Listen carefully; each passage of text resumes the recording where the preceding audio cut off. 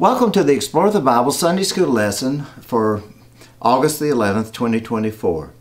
Today's lesson is taken from the last part of the ninth chapter of the book of Acts and is entitled Healing.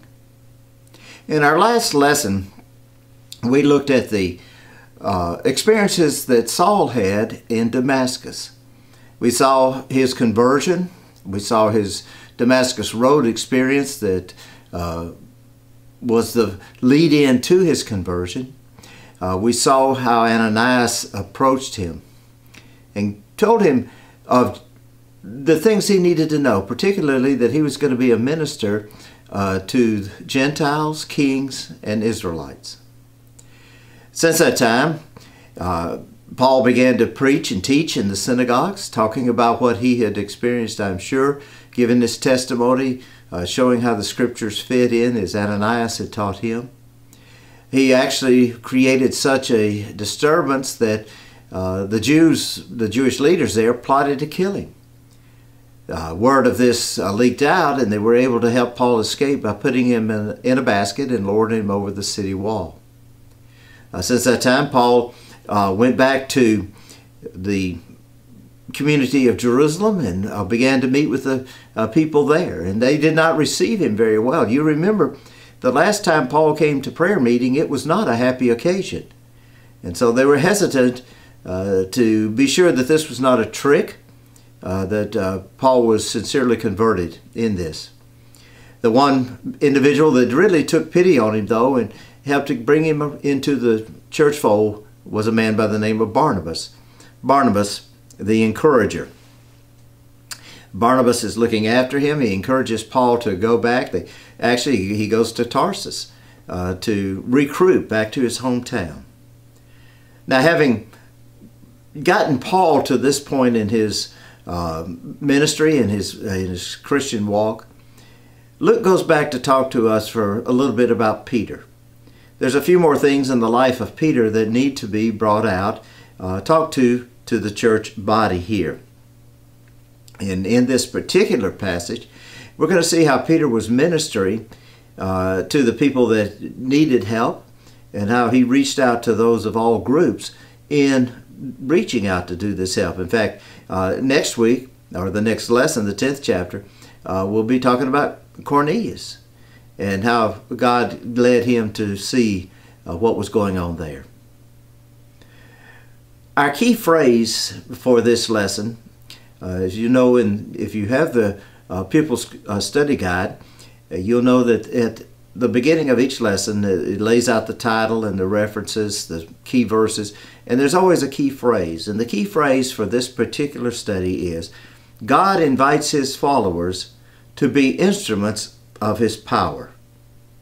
That was true for Peter. It's going to be true for us today, too. This is what we're talking about. Peter being an instrument God uses. Let's pray together. Father, I thank you for the opportunity you give us to be instruments for you. And I pray, Father, that you would help us be faithful to be those instruments. Help us to be faithful to carry out what you call on us to do. Thank you, Father, for your watch care over us. And we pray in Christ's name. Amen.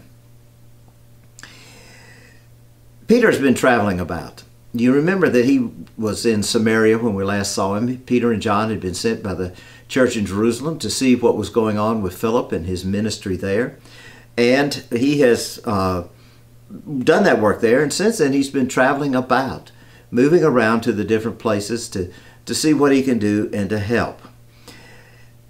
This may be in, motivated in part by the great persecution that broke out in Jerusalem. Uh, following the stoning of Stephen, a great persecution bro broke out, causing a lot of the believers to be scattered. Uh, it was this great persecution, perhaps some of it led by Paul, who uh, was then sent to Damascus uh, on his mission trip there.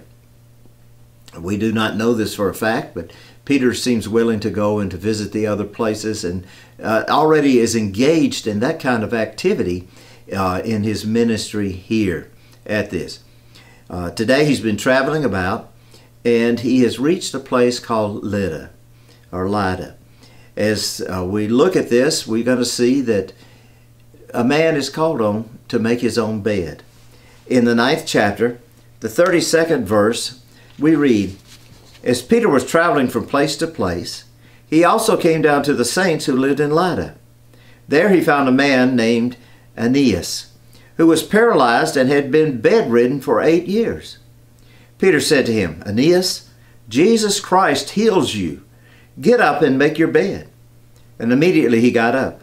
So all who lived in Lydda and Sharon saw him and turned to the Lord. So here's Peter. He's reached the community of Lydda. Uh, this is a community to the west of Samaria. If you would be heading from the city of Samaria, the province of Samaria, toward the Mediterranean, uh, you would come to Lydda. It was a uh, Gentile city, uh, a city of importance. Uh, it was uh, particularly important to uh, the traders, the merchants who were traveling from Egypt on up into Syria. Uh, as they would come up the coastal highway, the, the way of the Philistines, uh, it would be where they would begin to cut across to go over and cross the Jordan River Valley and head on north from there. So it was a it was a really a, a trading city, a merchant city, uh, a city that was probably somewhat cosmopolitan because of the different groups that would be going through there, the different ethnicities of merchants. And if such, it would be a place that would be uh, normal for the Jews to settle in, and therefore for the Christians to be found there as the Jewish converts became Christians. And so it had a, an established church there already uh, when Peter arrives there. Uh, and this is a good spot. We had a time when we in the Southern Baptist life would have key cities, key, cities that we really look to provide a witness in across the United States because we knew those cities would allow to branch out uh, with uh, mission churches from the churches that were established within them. Lydda would be a great place to have some strong Christians from which they could branch out into the area. He's, Peter has seen that the church in Samaria is in good hands. Uh, he's ready to move on.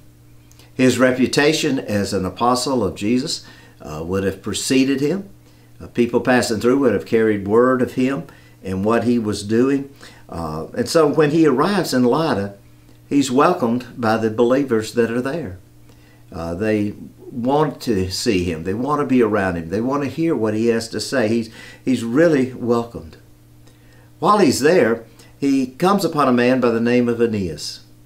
Now, Aeneas uh, is likely already a believer. Uh, the scriptures do not have any uh, word about his uh, conversion or of uh, Peter speaking to him about a need for Christ, witnessing to him. Uh, he just is, is seen there as one having a need. And so we pretty much assume that he is a believer uh, who has a medical issue. This issue has caused him to be paralyzed, and therefore, for the last eight years, he's been bedridden. Uh, this is a reminder to us that just because you accept Christ as your Savior does not mean all your problems go away. Whether they're medical or financial or even relational problems, those things still exist. Um, it's not a health and wealth uh, con, uh, type of conversion. It's a eternal life conversion. It is a change spiritually within, not necessarily the physical aspects of life that is around you. This man has been paralyzed for eight years. Luke, the physician, makes note of this, and, really, it's uh, it's very important to realize that and to understand this eight years of suffering has been documented. Uh, the people in the community know this. Uh, they may even know about the sickness or the injury that created this uh, paralysis. This is not a trick. This is not someone that Peter sent ahead to pretend to be uh, sick, uh, someone that he could pretend to heal and, and get the publicity from uh, doing that. this is a real true medical need that Aeneas has. And when Peter sees him, he has compassion for this man. Uh, and he pronounces that Jesus has healed him. Uh, we do not see a lot of leading up to it, a lot of uh, understandings of what's going on, uh, conversation back and forth. Uh, Peter simply takes compassion on him and declares that Jesus has healed him. Um, he's very clear, uh, Peter is, that Jesus is the one who has done this. It's not him, it's not his power, and it is Jesus who is calling on the man to get up and make his bed. It's time for him to make his bed. He's losing his paralysis. No one else has to do it for him. Both of these actions, the getting up and the making of the bed, showed the totality of his healing. He's able suddenly to use his limbs to stand with balance, uh, with the strength of the muscles. You know how muscles uh, have atrophy as they are unused for a while. He is able to do this. He's able to balance and bend over and uh, pick up the bed and use his arms to fold it and to hold it and to uh, have it where he can move about with it. The healing is total because this is the power of Jesus at work. This is God's hand at work in him, but working through his followers. As we said, God invites his followers to be instruments of his power. Jesus' power was worked through Peter. And the word spread. It is so amazing that this has happened that the word goes out to the people and they took note of it. I imagine if there was a telephone system, it would be buzzing with what had happened. And the Bible tells us that the people of Lydda and Sharon all knew about it. But the Sharon is uh, what we would know of as the plain of Sharon. Lydda was a community on the edge of the plain of Sharon. So he's saying everybody in the city and in the surrounding countryside knew about what had happened. They heard about this. They saw the man standing, moving about, healed. This sign got their attention. And the Bible tells us that because of this, many turned to Jesus. You know, as I think about this word here, turned, uh, in the Greek, this could be translated as turned or returned. And really, in my mind, I, I think immediately about repentance. Repentance is a turning from the way you were headed to turn to walk with God, uh, to go the way God wants you to go, to go the way of God. And the people there turned to Jesus. The way they had been traveling was no longer the way they wanted to go, having heard or seen themselves of what happened with the power of Jesus in the life of Aeneas. They made that commitment to him. Luke's story moves forward. There's more going on than just this. In fact, you come to a section where we see that it is important that they do not delay. Beginning reading in verse 36, uh, we read these words In Joppa there was a disciple named Tabitha, which is translated Dorcas. She was always doing good works and acts of charity. About that time she became sick and died. After washing her, they placed her in a room upstairs.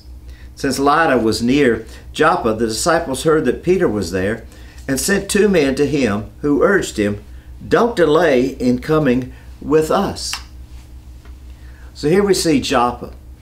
Joppa is a seaport. It's nearby to where they are. And it's probably something that sticks in your mind from the story of Jonah.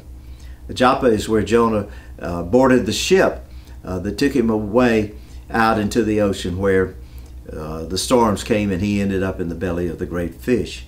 Joppa was that. It was an important city. And as such, it did have a Christian community. Remember, the people that were there at Pentecost went home everywhere.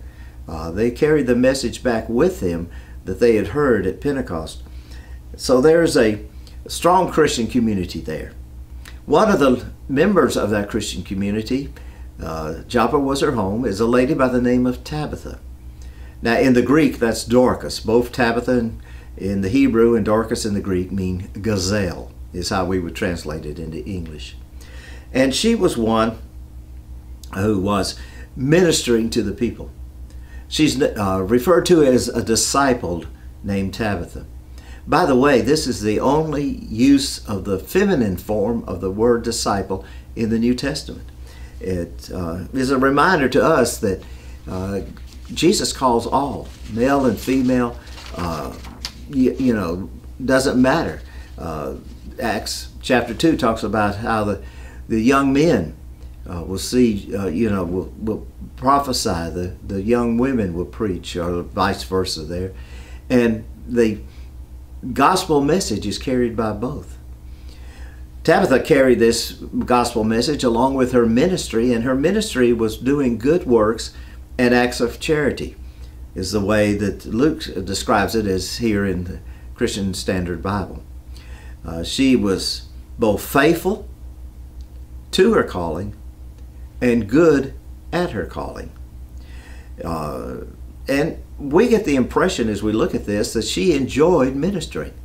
It made her happy to be a minister, uh, doing the things that she could do for others, the good works and the acts of charity.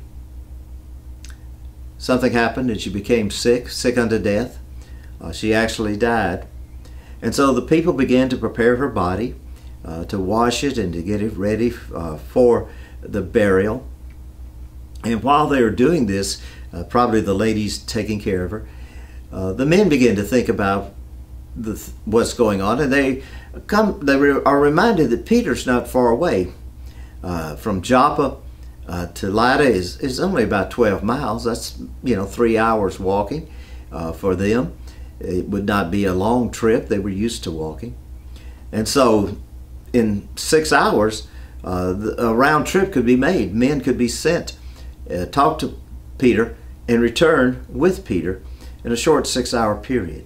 And so they send for Peter uh, to come and to be with them. Now, why would they do this? What would be their rationale for inviting Peter? Apparently, he had never met Tabitha. Why would they want him there? Well, there are two lines of thought. One is, is having heard all the things that Peter was doing, uh, they may have kind of had the hope that he would resurrect Tabitha, uh, that he would let the power of God working through him bring her back to life. And so there was an unspoken hope uh, that came about from their inviting him. Others think perhaps it was simply because of who Peter is. He is an apostle, a renowned apostle, uh, one whose reputation is great, and, and it would be quite an honor for him to be there at the uh, burial of Tabitha, for him to attend her funeral service, uh, to honor her uh, in that way. The scriptures really don't say, and, and really when you get down to it, it really doesn't matter their motive for getting him there. Uh, it's important that they got him there.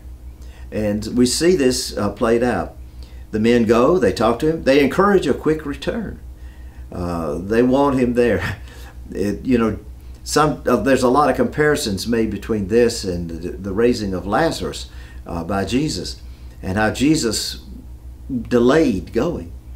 Uh, they wanted Peter to hurry back. Tabitha's already died. He, he, before Peter's even notified, she has died. And so it's more probably that they want him to get back before they actually bury her. Uh, they actually inter the body uh, that has been prepared. So here we are. Uh, Peter has been summoned and encouraged to hurry back. Uh, Tabitha is lying in state in an upstairs room with the ladies around her uh, that uh, are sitting wake over her as they await the time of the interment.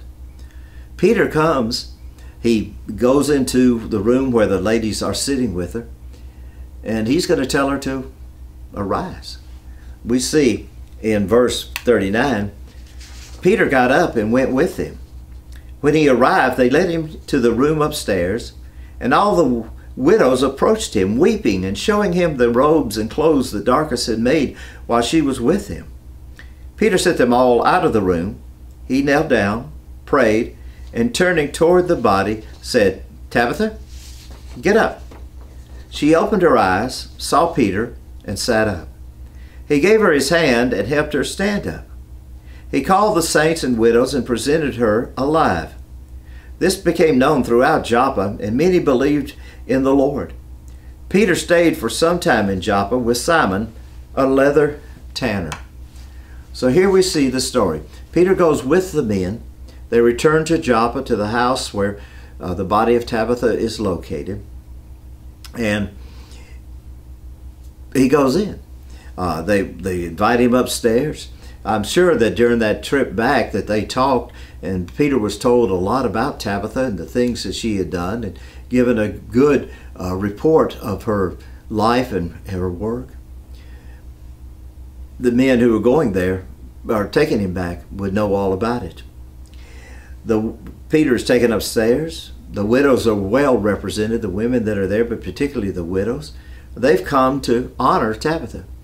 And they've brought with them robes and clothes, things that Tabitha has made for them. Uh, many of them, being widows, may not have been able to afford new clothing, but Tabitha uh, provides it for. And so we see in, in her ministry of doing good works and acts of charity, as Luke says, that a lot of this was probably of the nature of being a seamstress. She was probably a very sought after seamstress, one who um, knew well the art of making clothes. And so her most of her ministry, or a lot of her ministry, must have been with this. This is what they brought uh, to honor her with and to show. And to, I can imagine hearing them tell each other about, well, Tabitha made me this, and she brought it to me, and, and I've had it for two years now, and, and it hasn't worn out. And, and another one said, yeah, mine's five years old, and Tabitha's, you know, just done great. And I can hear this conversation going up. In fact, it's very clear, I think, that her memory would live long after her if nothing else in the lives of these widows, these women that she has helped. And think about that. Her ministry was very important. But it wasn't the preaching of, of great and mighty sermons. Uh, it wasn't in the working of miracles. None of those things are reported here. It was simply one lady helping others as she had the means and the opportunity. It was a devoted disciple, setting a great example for others as she ministered in that way. Peter, hearing all this and feeling the leading of the Holy Spirit, is, is led to pray for her restoration. However, this is not meant to be a show. It's not to be entertainment. And so he has a room cleared. It's, it's just him and the body of Tabitha as he kneels and prays in great humility, going to God as He is leading for this to happen. You know, He kneels, He prays, He speaks to Tabitha. It kind of reminds us also of what Jesus did with Jairus' daughter. You remember Jesus was called to the home of this official because his daughter was sick and the daughter died uh, before he got there. Jesus went up to the room and raised her to life with Peter and John there as his witnesses. There's, in both situations, the room is cleared of everybody else. Uh, it's just Jesus and his two disciples are here, just Peter. The room is cleared of everybody else. The dead is told to get up. Uh, they're just spoken to. Uh, that's that's all that is needed, and the resurrection is the result. They both come back to life. In fact, as you look at these two passages of Scripture, you'll see that the words that are spoken are identical in the Aramaic except for one letter. In Jesus' uh, situation, he says Talitha cum. Peter says Tabitha cum. And so the only difference is in the uh, name of the individual where the L is replaced with a B, and the words itself are basically the same in Aramaic. Just an interesting uh, coincidence, perhaps, or perhaps Peter's memory reminded him of what Jesus Christ did and having the faith to believe that, Christ, that Jesus would do it through him.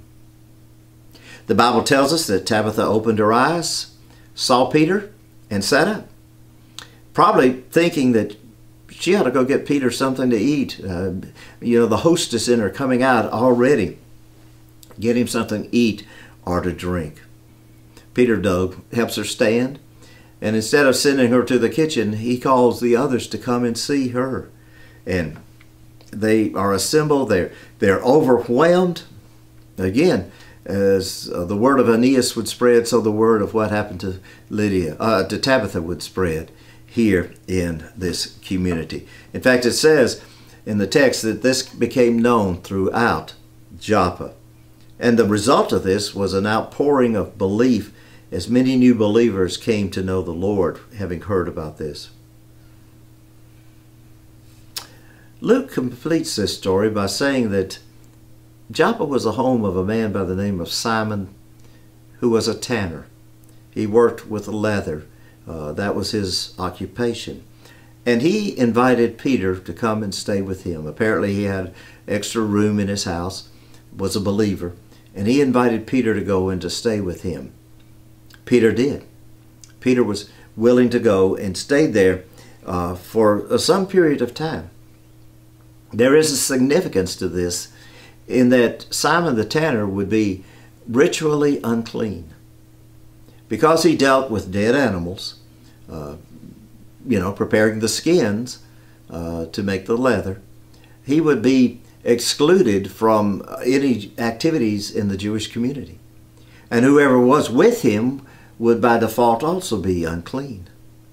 The fact that Peter would not even consider this and would go and stay with him, making himself ritually unclean, indicates that Peter was beginning to make that understanding move that Christ was for everybody. Uh, that the Old Testament uh, rules and regulations uh, were no longer uh, of that importance, uh, particularly the ceremonial, the law ones.